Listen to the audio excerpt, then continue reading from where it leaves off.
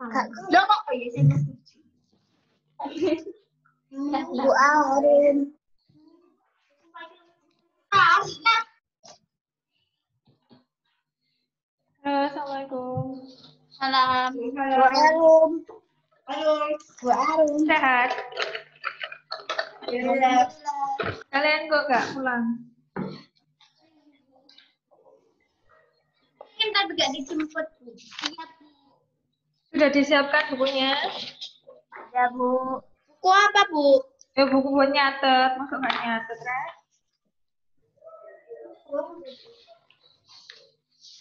Ya, Bu, ini belajar apa, Bu? Belajar IP. Fisika dong. Ini ya, pakai ini ya.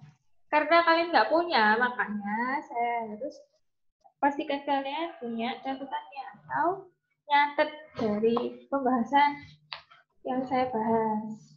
Kita akan bahas tata surya, karena babnya kan sudah selesai tata surya. Jadi kita bahas sekarang soal-soal di sini. Oke? Kelihatan? Kelihatan. Kelihatan. Oke. Sudah siap semuanya? Pun. Oke.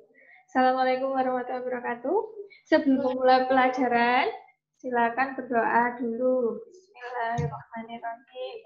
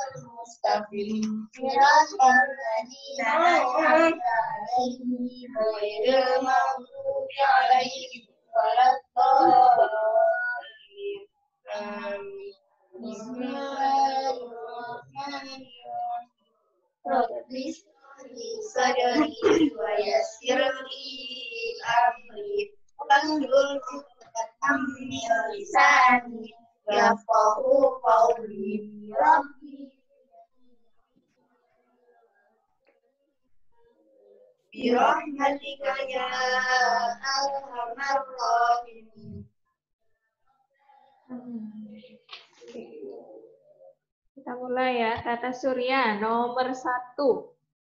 Planet yang memiliki satelit alami terbanyak adalah dijawab dah gimana dijawab Iya, jawab dulu baru kita bahas. Apa tuh? Apa kira-kira? Jupiter Jupiter. Jupiter punya berapa satelit alami? 63 63 satelit. Lu dari mana? Gampang ya? Loh, pernah enggak ada pernah diketerangkan deh yang itu. Iya. Dari Nomor. Ya, ada ditanyakan lagi. Benar ya? Nomor dua sekarang. Planet Mars terletak antara dua planet bernomor berapa? Tiga dan lima. Tiga dan lima, karena Mars adalah planet keempat dari matahari ya. Jawabannya berarti ya. Oke. Oke. Tulis intinya saja, misalkan planet Mars keempat gitu. Planet planet yang memiliki satelit terbanyak itu Jupiter, banyak 63. Belum.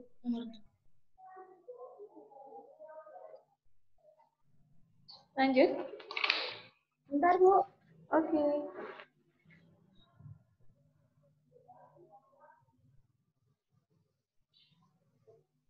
Ya.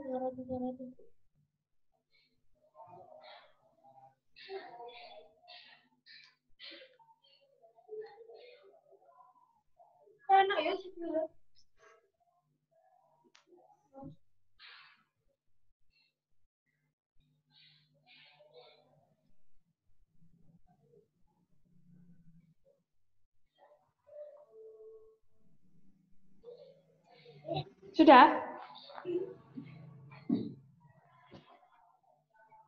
Nomor selanjutnya, nomor tiga. Me- meteoroid yang memasuki atmosfer bumi akan berpijar. Hal ini disebabkan oleh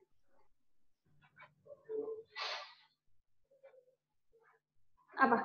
Masih ingat Masih ingat bedanya meteoroid, meteor, sama meteorit. Apa? Bedanya meteorit? Meteoroid adalah yang belum jatuh ya, benda langit. Yang berupa batuan yang masih melayang-layang di angkasa, belum jatuh.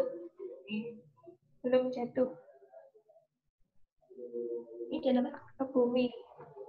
Bumi dan Jupiter. Kalau meteor, benda langit, meteor, meteoroid yang sudah jatuh ke bumi dan terbakar di atmosfer.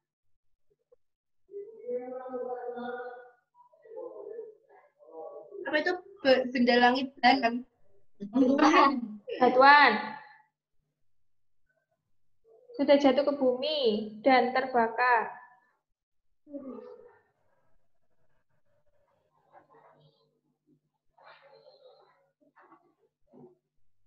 Tahu ya terbakar oleh atmosfer. Kalau meteorit ini meteoroid yang sudah sampai permukaan bumi.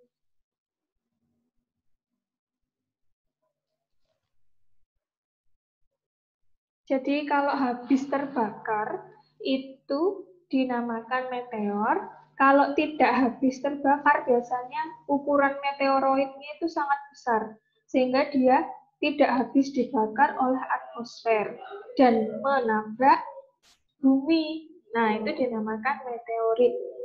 Ada tiga ya, meteoroid, meteor, sama meteorit. Berarti kalau meteor itu nggak nyampe ke bumi. Meteor nggak sampai, sudah habis di atmosfer, hilang. Karena terbakar kan? Kalau terbakar kan seperti arang itu loh. Kalau arang terbakar lama-lama dia jadi debu kan ya. Jadi angus gitu kan. Nah, seperti itu. Jadi kalau dia sudah terbakar habis, berarti dia nggak sampai di permukaan bumi. Tapi kalau meteorit, dia itu belum habis pas sudah nyampe permukaan bumi, jadinya masih bentuk batuan gitu, masih keras gitu. Jadi nabrak. Nah, itu dinamakan meteorit. Kalau meteoroid sebelum jatuh, berarti dia belum masuk atmosfer bumi. Jadi masih di angkasa melayang-layang, ada orbitnya dia. Batuannya. Oke.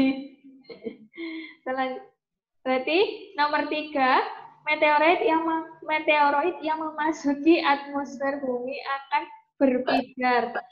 Halo Mbak Wiki. Halo Mbak. Masya Allah. Meteoroid yang memasuki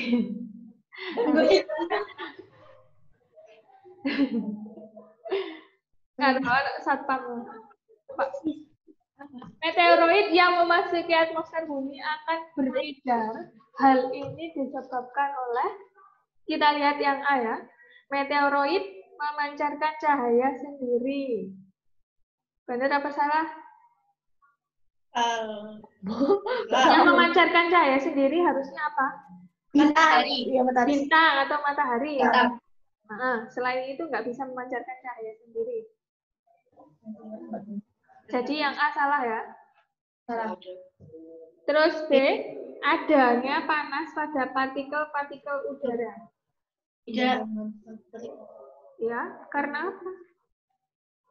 Belum tahu ya ini nomor B, yang B belum. Yang C sekarang. Meteoroid memiliki suhu yang sangat tinggi. Iya, iya, iya, insya Allah. Batuan, batuan masa Ah. yang memiliki suhu tak sangat tinggi kan berarti dia yang punya cahaya sendiri, ya kan? Bukan. Ya sudah jatuh. Yes. Ini meteor. ya. Kan ini meteoroid. Berarti masih di atas. Eh, ini meteoroid yang memasuki atmosfer akan berpijar. Berpijarnya tadi karena apa? Gesekan antara apa? Antara itu Batuan dan atmosfer. iya. Berarti hmm, bukan memancarkan cahaya sendiri ya, bukan berpijar sendiri ya. Oh, berarti B. Yang dia belum dilihat dulu, dia dulu. Panas C. akibat pertumbukan dengan partikel-partikel udara. Yang mana berarti? Oh iya iya, yang C, C. Soalnya kan udara. pertumbukan, bergesekan.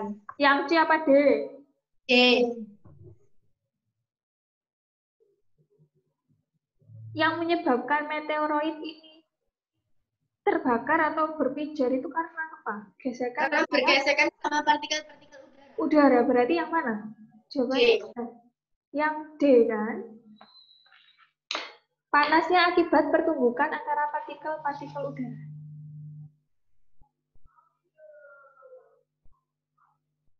Iya enggak? Kan? Ya, jadi batuan meteoroid tadi bergesekan sama partikel udara. Karena gesekan, orang kita gosok-gosokkan, misalkan tangan digosok-gosokkan itu kan lama-lama panas ya. Sama aja kayak batu sama udara. Kalau bergesekan terus pasti dia akan panas. Terus-terusan kalau panas tadi eh nanti bisa terbakar. Terbakarnya itu sambil jatuh kan? Jatuh kan gesekannya besar ya. Terus timbul api sehingga kelihatannya seperti bintang jatuh. Itu yang biasanya dinamakan bintang jatuh. Yang sebenarnya apa? Meteoroid yang memasuki atmosfer bumi dan bergesekan dengan atmosfer ya, dan bergesekan dengan partikel udara sehingga berpijar. Berpijar itu apa sih, Bu? Berpijar itu nyala, jadi kayak nyala api gitu. Berpijar. Itu betul nggak biji? Ini, ini tadi udah ditulis tadi ini. Berpijar itu kayak Berpijar itu ya menyala seperti api.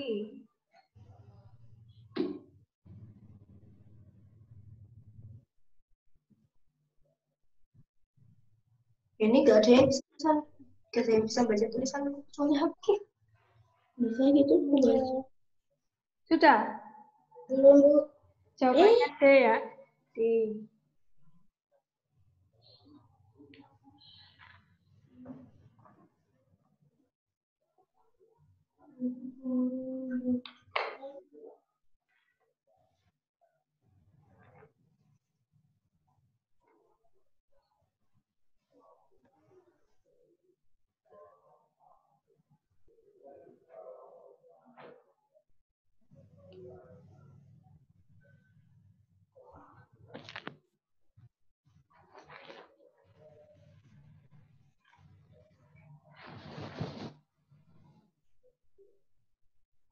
Sudah? Sudah. Sampai lanjut ya, nomor 4. Perhatikan pernyataan berikut. Nomor 1. Bergerak mengelilingi matahari seperti planet. Nomor 2. Berevolusi terhadap planet Jupiter. Nomor 3. Lintasannya berada di antara planet Mars dan Jupiter. 4. Memiliki lintasan yang sangat lonjong. Pernyataan yang menunjukkan karakteristik asteroid adalah asteroid, masih ingat? Satu dan tiga. Satu, bergerak mengelilingi matahari seperti planet. Ya, betul. Tiga, lintasan berada di antara planet Mars dan Jupiter. Ya, betul ya. Jadi asteroid punya orbit, orbitnya di antara Mars dan Jupiter. Dia juga mengorbit matahari. Oke, sudah bisa ya. Asteroid. Jangan Bu, jelaskan lagi. Jelaskan lagi. Asteroid ya. Asteroid itu biasanya disebut juga dengan sabuk batuan. Nah, sabuk batuan kenapa? Karena lintasannya eh dia punya orbit beda sama meteoroid ya. Meteoroid itu tidak punya orbit. Tahu ya orbit itu apa? Lintasan. Kalau planet berarti lintasannya dia mengelilingi matahari. Kalau meteor itu enggak berarti. Kalau asteroid itu punya lintasan seperti planet. Jadi dia punya orbit mengelilingi matahari juga. Misalkan ini matahari. Ini planet pertama ya, Merkurius, Venus, Bumi, Mars, Jupiter. Nah, berarti dia ada di sekitar sini. Nah, punya berkeliling ini. Tapi batuannya kecil-kecil, lebih kecil daripada planet. Tetapi ada juga yang hampir sebesar planet. Nah, tapi nggak sampai lebih besarnya planetnya. Jadi dia itu batuan kecil-kecil banyak gitu di sini. Membentuk sabuk. Di antara Mars dan Jupiter. Ya, di antara planet Mars dan Jupiter lintasannya. Tuh.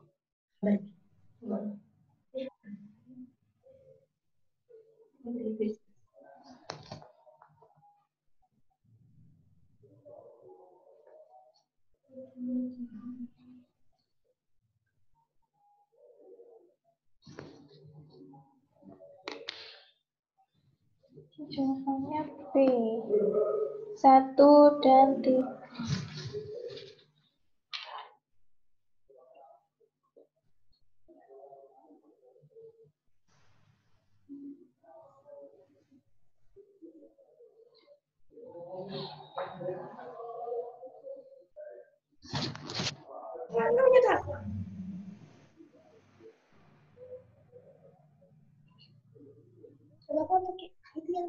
Sudah. Nomor lima sekarang.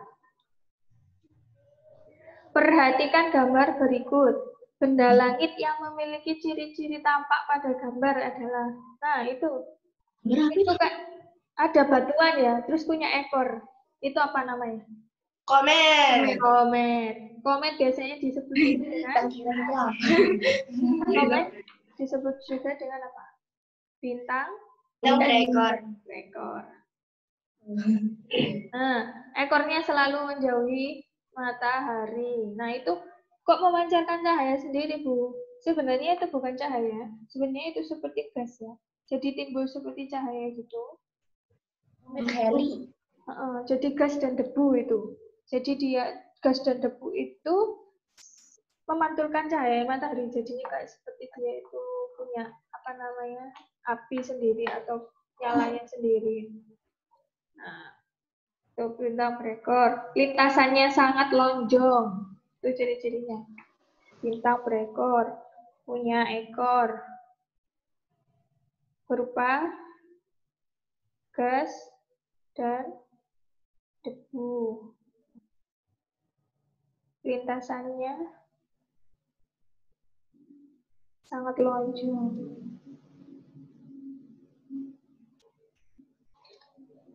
Dia juga mengorbit matahari.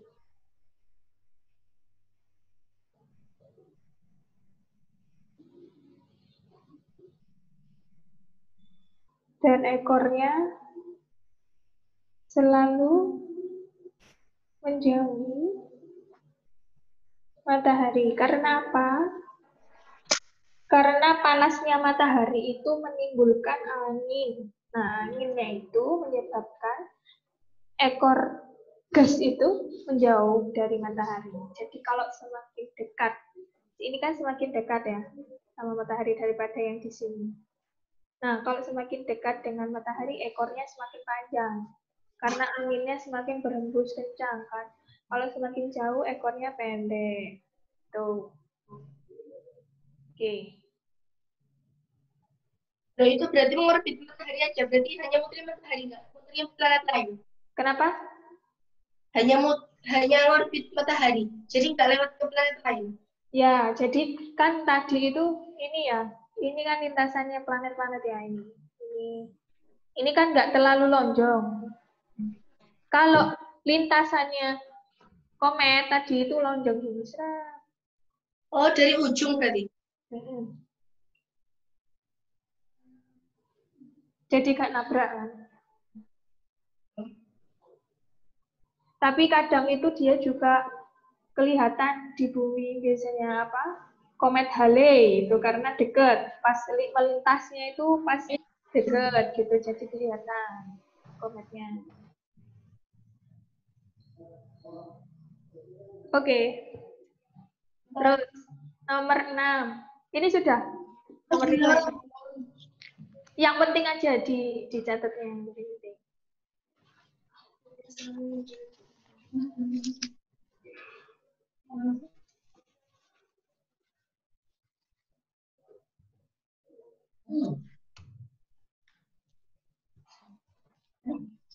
men. Ah, tak tahu. Hmm.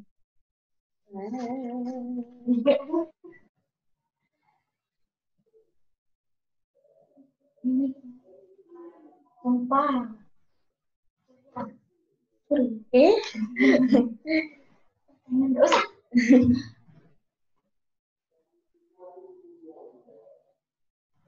Sudah. Iya. Jadi. Oh, gambarannya. Mana? Itu yang komen dulu, nggak usah sih. Apa? Nah, kita itu bola, bola center. Hah? Iya. Nomor 6 ya. Angin matahari menyebabkan. Agak belum. apa ini? Sudah tadi. Coba dibaca. Eh, apartemen selalu menjauhi matahari. Yang C. C. Ya. C. Oke, sudah bisa ya. Tulis ya. gitu. Gimana? Eh, Bisa ditulis aja coba. Jadi tarik tarik tarik. Yuk. Kalian Teori Teori heliosentris. Nomor 7. Teori heliosentris menyatakan bahwa nah, teori heliosentris ini apa sih? Teori itu ada teori eh tata surya. Dalam tata surya itu ada dua teori. Teori heliosentris sama teori geosentris. Nah, teori heliosentris, helio dan geo. Helio dan geo. Helio ini dalam bahasa Yunani namanya helio itu adalah matahari. Kalau geo itu bumi. Sentris itu berasal dari kata sentral. Sentral itu apa? Pu pusat. Jadi kalau teori heliosentris itu menyatakan bahwa helio matahari sebagai pusat tata surya. Kalau teori geosentris berarti geo bumi, sentris sentral berarti bumi sebagai pusat tata surya. Itu kalau heliosentris dicetuskan oleh Galileo Galilei kalau geosentris itu dulu sebelum Galileo Galilei itu Aristoteles. Nah, dari sini coba kita nomor 7. Teori heliosentris menyatakan bahwa Matahari sebagai pusat surya. Yang B ya. Oke.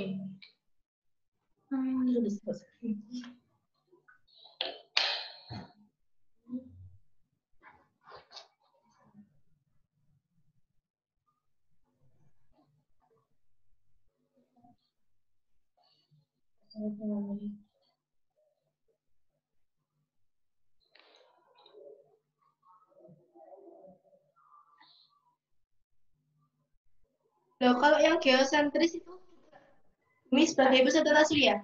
Iya.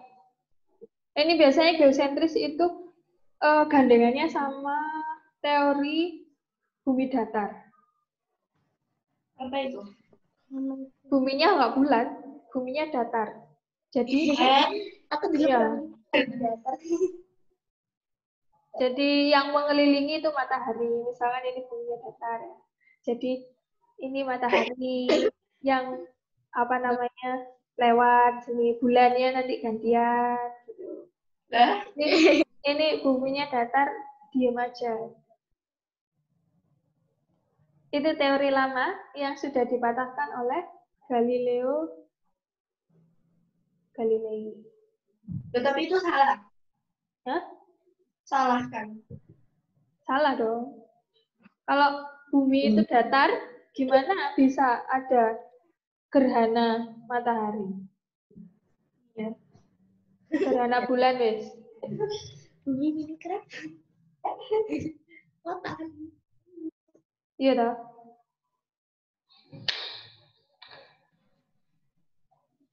Nomor 8 sekarang. Asteroid yang memiliki lintasan orbit berhimpitan dengan orbit Jupiter, nah ini harus searching, itu adanya, kalau yang dekat orbit Jupiter itu biasanya Trojan Jupiter. Jadi, asteroid yang dekat sama Jupiter itu Trojan. Yang kan tadi kan lintasannya asteroid itu antara Mars dan Jupiter. Jadi yang dekat sangat dekat sama ini ya, sama dekat sama Jupiter itu namanya Trojan.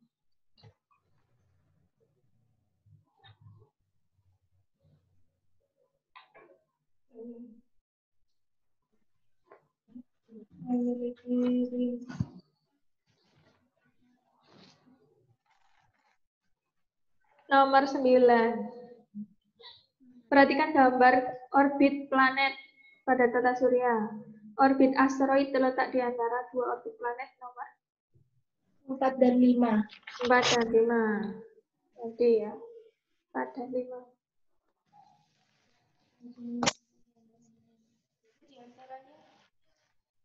Empat itu Mars, lima itu Jupiter. Asteroid ya. Kita lanjut nomor 10. Perhatikan planet-planet berikut. Itu ya. Coba kita soalnya dulu. Asteroid. Planet-planet di atas yang memiliki komposisi? Bentar, bentar. Soalnya dulu. Planet-planet di atas yang memiliki komposisi menyusun sebagian besar terdiri dari es dan hidrogen. Yang kebanyakan es dan hidrogen itu adalah planet Jovian atau yang jauh dari matahari. Berarti planet luar. Planet luar apa aja? Ya, Saturnus, Uranus, Saturnus. yang mana? Planet luar. Satu, tiga, satu, satu, tiga, enam. Nomor berapa nomor? Satu, tiga, enam. Nomor berapa? Satu, tiga, enam. Satu, tiga, enam. Kita lihat. Yang Oke. Terus apa? Sembilan tadi apa? Orbit, orbit asteroid terletak di antara.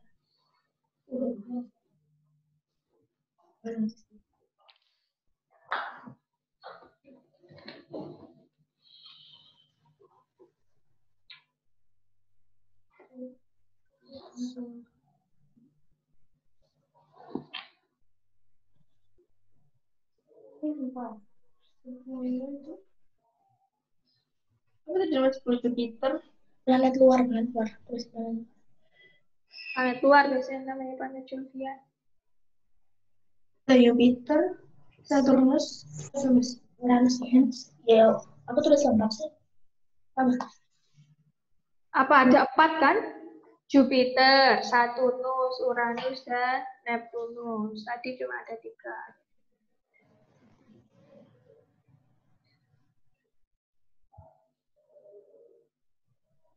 Saturnus, Uranus, Uranus. Lanjut, nomor 11. Perhatikan pernyataan berikut. Karakter planet bumi pada nomor satu terkenal akan cincinnya. Kan ya, apa yang punya cincin itu planet? Saturnus. Saturnus. Orbit berbentuk elips. Yes. Belum tahu ya? Apa elips itu? Tiga, memiliki sebuah satelit bidang edarnya terletak antara Jupiter dan Uranus. Bukan, bukan, bukan, Salah, bukan. bukan. Dipikir Uranus. Bukan. Kok bukan ya? Jupiter dan Uranus itu kan apa? Saturnus kan? Saturnus ya. Empat, bidang edarnya terletak antara Venus dan Mars. Iya. Ya, berarti nomor berapa? Dua, Dua. dan Elips itu apa sih, Bu? elips itu lonjong.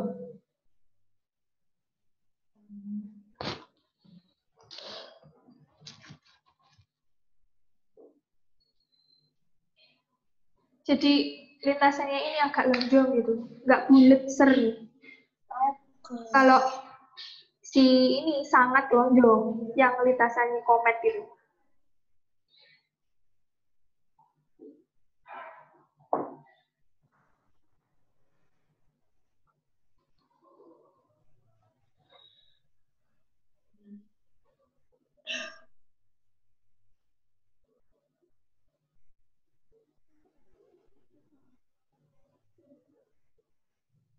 Habis ini kalau misalkan ini mati, konekkan lagi ya, karena belum satu jam.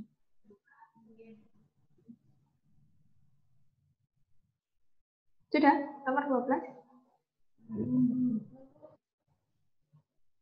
Akibat kecondongan poros bumi dan revolusi bumi mengelilingi matahari menyebabkan, nah ini ada condong, ada revolusi. Kita lihat uh, pilihan jawabannya. Terjadinya siang dan malam. Adanya perbedaan waktu. Matahari bergerak dari timur ke barat. Adanya musim dan perbedaan namanya siang dan malam. Jadi, ini kita analisis uh, tentang akibat dari revolusi bumi. Nah, lihat ya. Terjadinya siang dan malam merupakan akibat dari apa? Rotasi. Rotasi, bukan ya. Nomor E yang B, adanya perbedaan waktu. Rotasi, rotasi. Rotasi, biasanya yang whip, wita, wit itu kan rotasi ya. C, matahari bergerak dari timur ke barat. Iya. Rotasi. Itu Enggak. dinamakan apa? Gerak semu harian matahari. Iya, iya. Nah, itu rotasi. Berarti yang D ya, adanya musim dan perbedaan lamanya siang. Revolusi, yaitu revolusi. revolusi.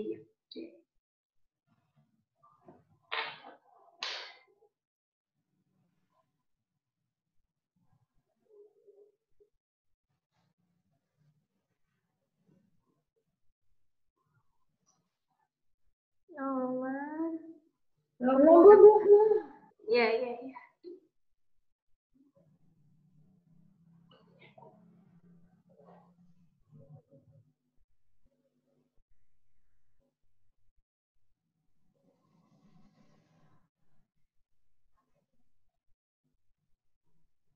Antaman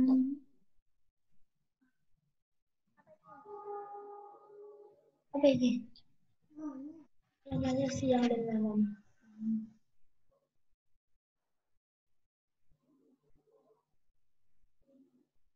Jadi selain itu tadi proses rotasi ya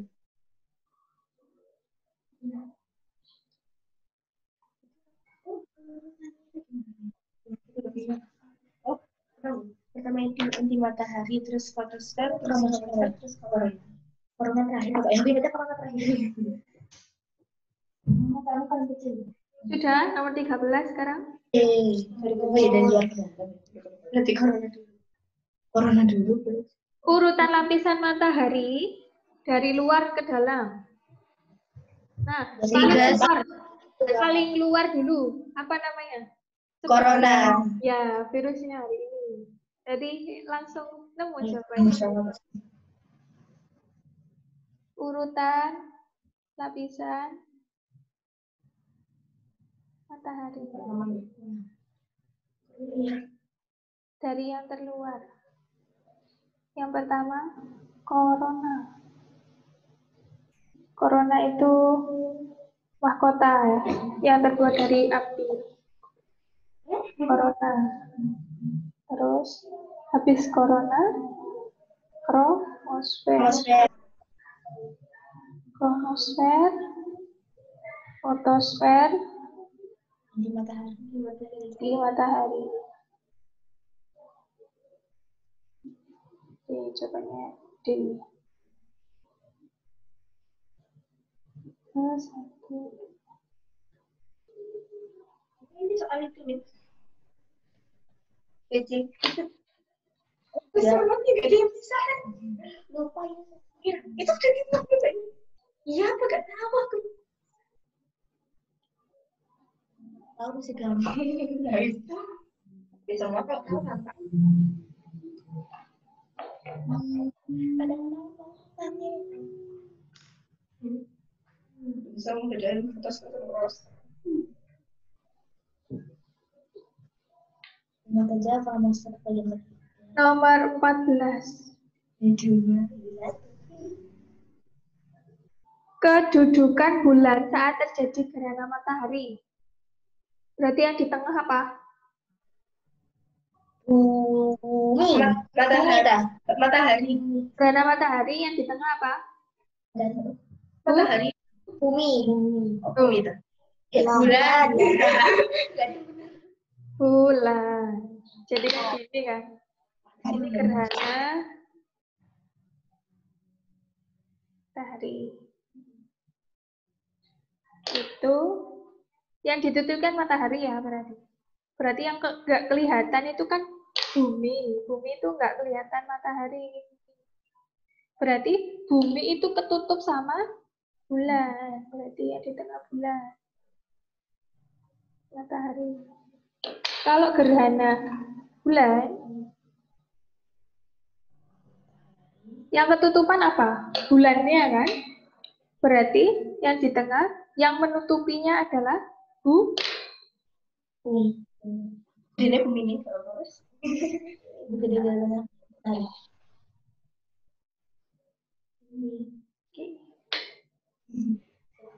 Tinggal dilihat tengahnya aja. Kalau gerhana matahari, gerhana, gerhana matahari yang di tengah bulan, gerhana bulan yang di tengah bumi.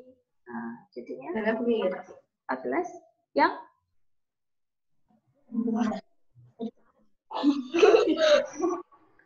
Eh bisa nggak bisa sih? Orang kan bulan sama kan. yang mana? 14 gerhana matahari. Ah. Yang A.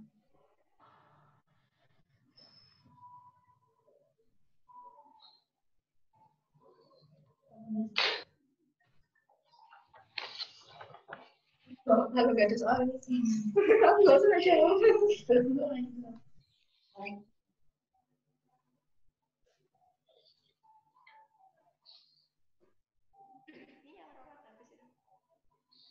Aurora masih sih.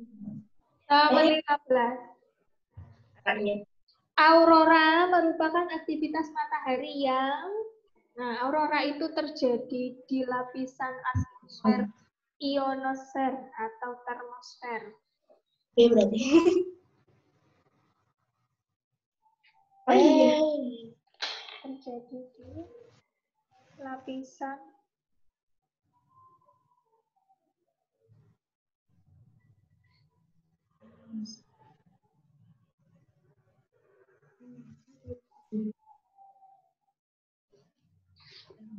Tahu aurora? Tahu, tahu. Jadi langitnya itu warna-warni gitu. Terjadinya biasanya di kutub. Terjadinya di kutub utara.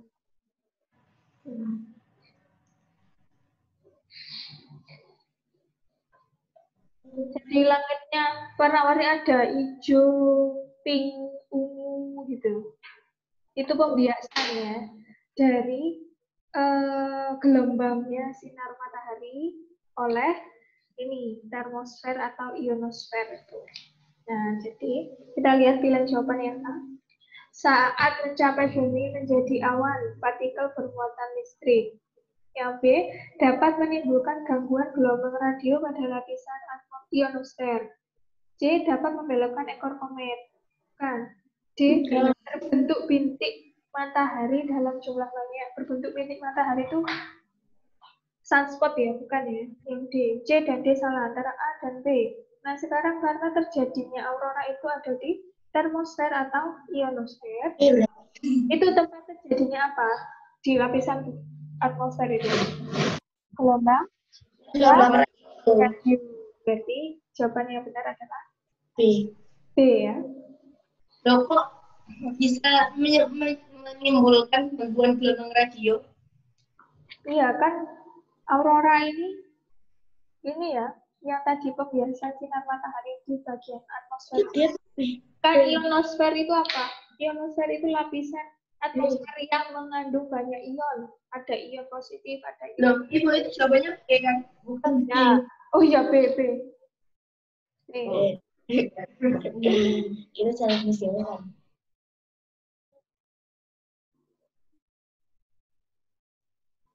Kan 15 menit lagi.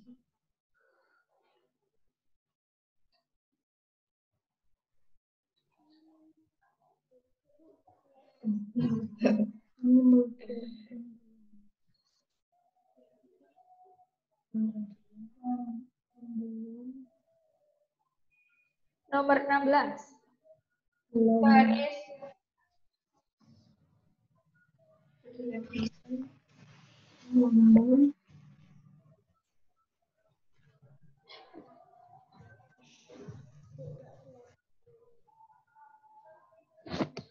Episode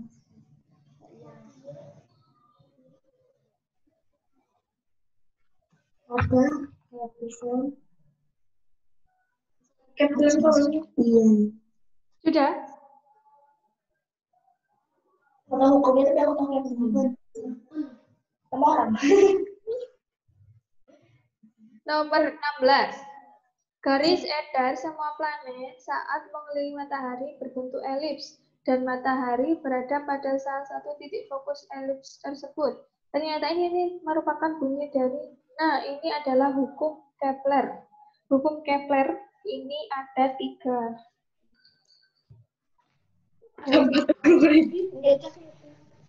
Satu, Kepler. Itu bunyinya, bunyinya hukum satu Kepler ya. Setiap planet bergerak dengan lintasan elips.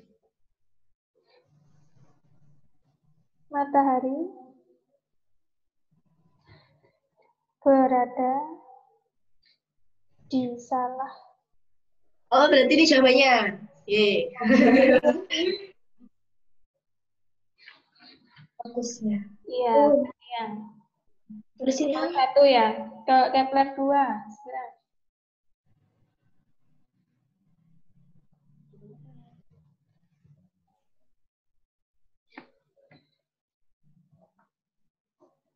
Luas daerah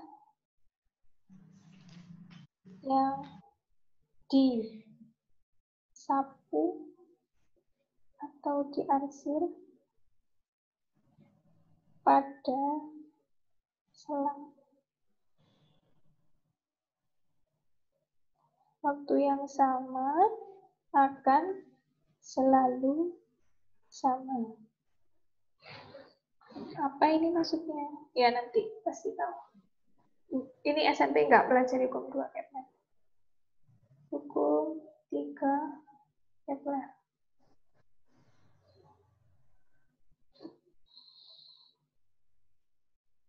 Periode kuadrat suatu planet. Jadi periode kuadrat itu lamanya planet itu mengelilingi matahari itu sebanding dengan pangkat tiga jarak rata-ratanya dari matahari.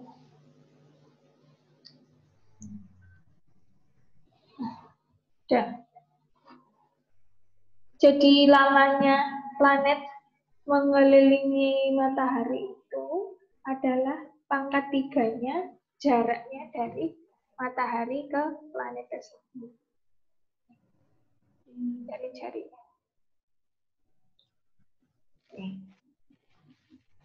Pangkat tiganya ini. Itu lamanya dia mengelilingi matahari. Oke, berarti yang benar adalah hukum. Yang benar adalah hukum satu.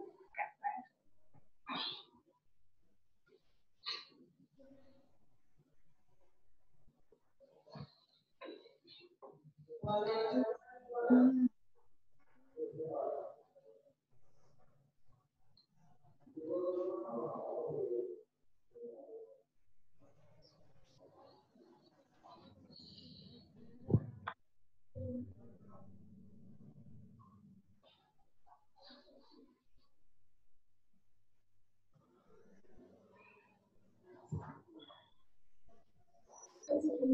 Sudah? Di situ ada siapa saja? Iya. Terus Tasdia. Jasmine. Terus Dewi ya Tia. Dewi sama Tia. Amel. Satu lagi, Amen.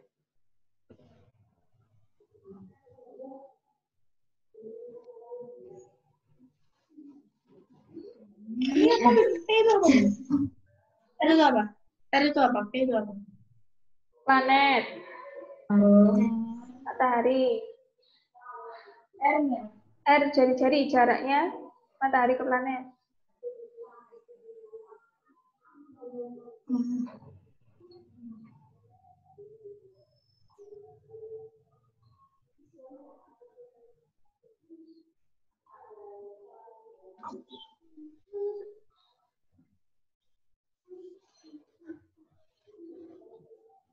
17.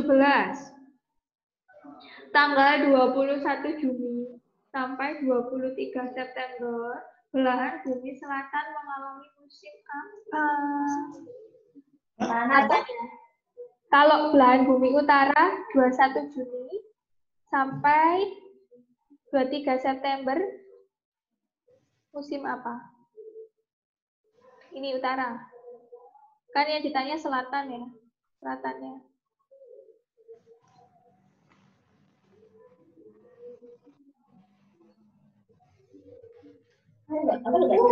Jadi hitung. Kalau kan ada empat musim ya. Empat musim dalam satu tahun. Satu tahun itu 12 bulan. Ada empat musim berarti tiga bulan tiga bulan kan? Iya. Yang paling kalian tahu deh. Berarti musim dingin. Musim dingin itu mulai Desember ya. Desember, Januari, Februari, Maret. Biasanya Maret pertengahan. Nah, itu musim dingin. Setelah musim dingin musim apa? Panas. Semi dulu dong. Oh, semi. Ya. Semi berarti dari Maret, April, Mei, Juni. Juni pertengahan berakhir. Habis semi apa? Dingin. Panas. Panas. Berarti Juni, Juli, Agustus, September. September. Musim, apa? Panas. Eh, Panas. gugur. Enggak, Panas. oh, enggak yang Panas. yang habis-habis September. Panas dong. September gitu. Musim panas. Berarti selatan itu kebalikannya. Musim Dingin. dingin. Kalau di utara itu panas, di selatan dingin. Kalau di utara musim semi, di selatan musim gugur. Kalau di utara musim dingin, selatan panas. Kalau di utara musim gugur, selatan semi. Jadi kebalikan gitu. Bagian bumi selatan itu yang mana? Di semi itu apa? Panas. Semi musimnya panas dingin kan sudah tahu ya panas dingin. Kalau semi itu setelahnya dingin jadi mulai tumbuh. Semi itu tanaman mulai tumbuh. Mulai bersemi. Kalau gugur tanamannya? Apa? gur- berguguran ya? Bukan tahunnya. Bergugur. berguguran. Ini biasanya eh, ancang-ancang atau persiapan mau ke musim dingin. Nah, jadi makanya dia di antara musim panas dan musim dingin. Kalau musim semi antara musim dingin dan musim panas. Berapa bulan Juni, bulan Juli. Nah, jadi misalkan bagian bumi selatan itu yang mana? Australia, Afrika Selatan, kemudian Brazil. Itu kan bagian bawah ya. Kalau di bawah, Australia misalkan dia musim dingin ya. Berarti di Jepang, di Korea itu musim panas. Kalau sekarang misalkan sekarang bulan apa? April ya. Berarti harusnya masuk musim semi kan? Kan habis dingin ya. Musim dingin itu kan dari Desember, Januari, Februari, Maret. Sudah musim dingin. Ma- Maret masuk musim semi. Karena habis mati, karena dingin tanaman mati semua kan. terus dinginnya hilang sehingga tumbuh lagi kan tanamannya. Nah itu dinamakan musim semi. Nah itu di Maret, April, Mei, Juni.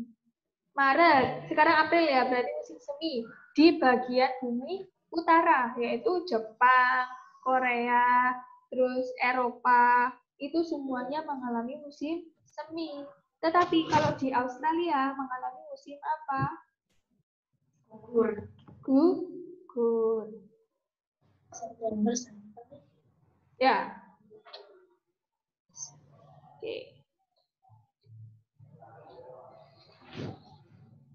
Paham dari sini?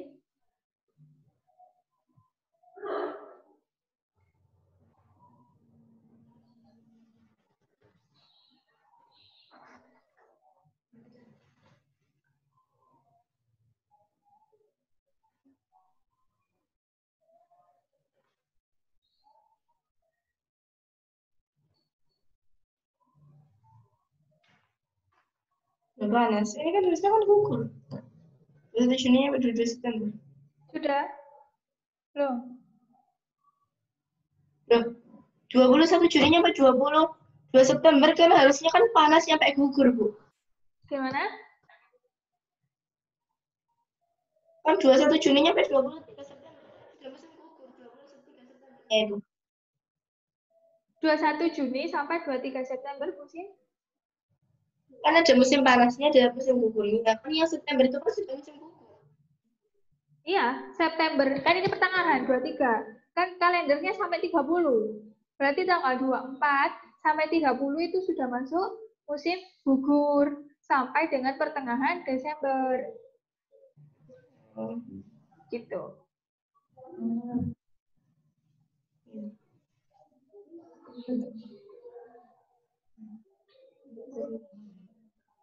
Oke.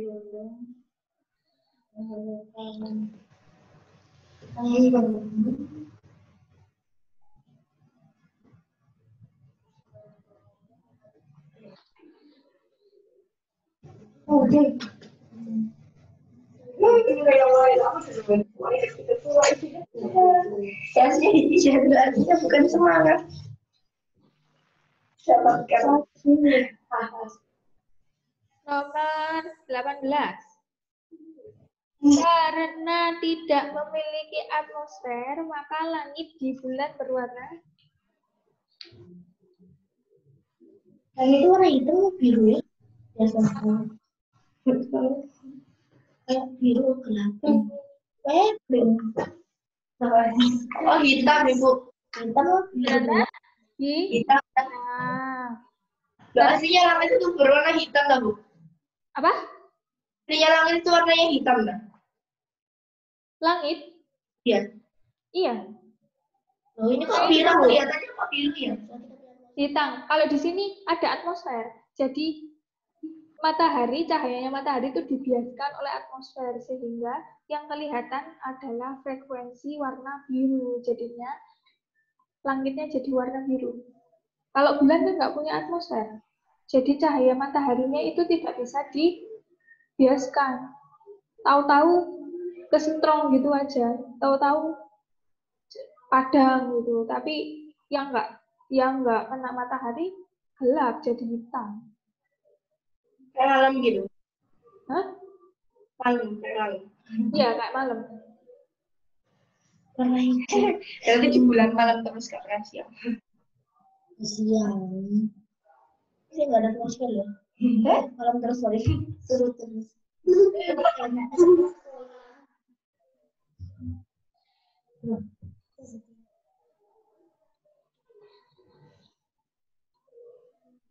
Itu ada jawabannya hijau lagi. Warna hijau. 19. Merah. Pasang surut terbesar terjadi saat bulan pada fase fase bulan udah pernah ya misalkan ini, ini bulan. Rabani. eh salah salah. Ini bumi. Kenapa? Terbesar ya terbesar itu apa? Kuartil itu apa? matahari ya. Misalkan cahaya matahari dari sini. Ini bulan fase pertama. Udah pernah kan? Fase kedua, fase ketiga, empat, lima, tujuh, delapan fase. Bulan yang pertama ini adalah bulan baru. Kalau pasang itu kan dipengaruhi oleh gravitasi bumi dan eh gravitasi bulan. Iya. Kalau matahari, bulan, bumi itu segaris lurus itu mengalami pasang maksimum. Sangat basah. Sembilan belas sama.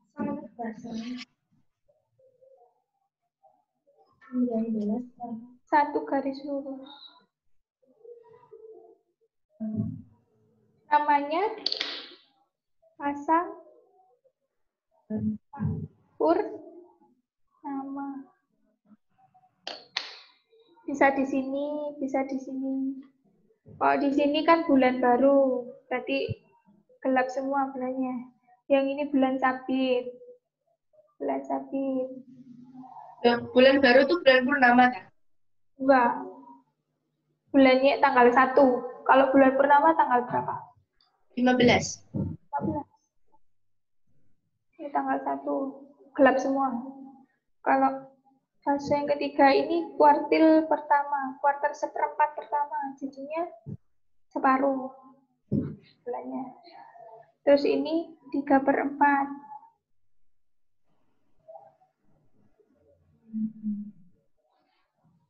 Yang ini bulan purnama. Purnama. Ini seperempat lagi. Fase ke-6. Fase kelima. Kemudian kuartil kedua, separuh kedua. Fase ke-7. Ini balik sabit lagi.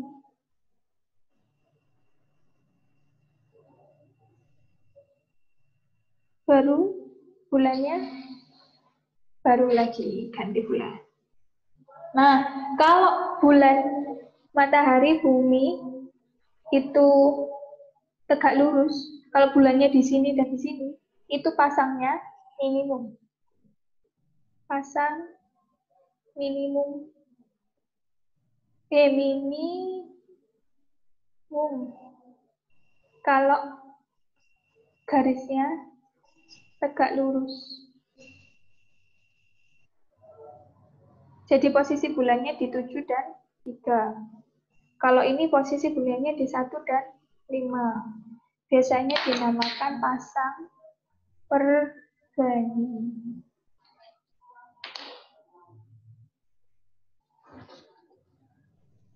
Nah, berarti pasang surut terbesar terjadi saat Perbani. Nah, terbesar itu apa? Maaf? Pasang maksimum kan? Pasang Purnama. purnama. Oh, iya benar. Iya.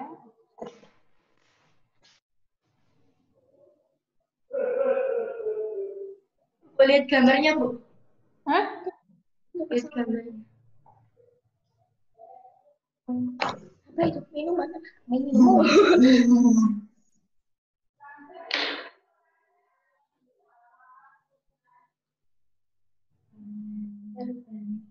Saya kira rebani. Biasanya rebani. Rabu.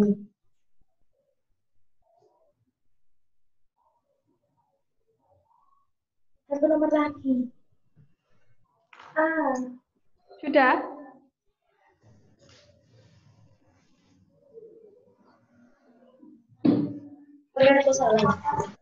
Oke, karena waktunya sudah selesai. Ada garis lurus. sudah selesai. Selanjutnya akan, akan kita lanjutkan ke pertemuan selanjutnya. Nah, sekarang saya akhiri. Boleh berdoa.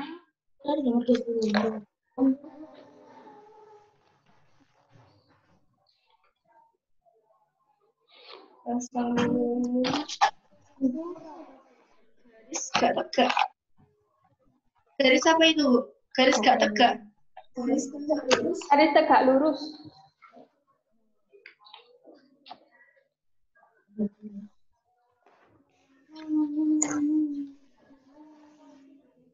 Sudah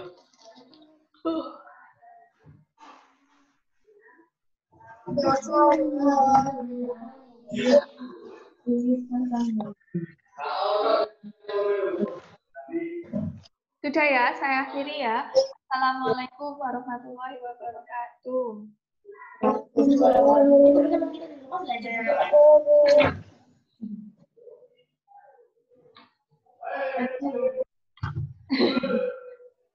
Y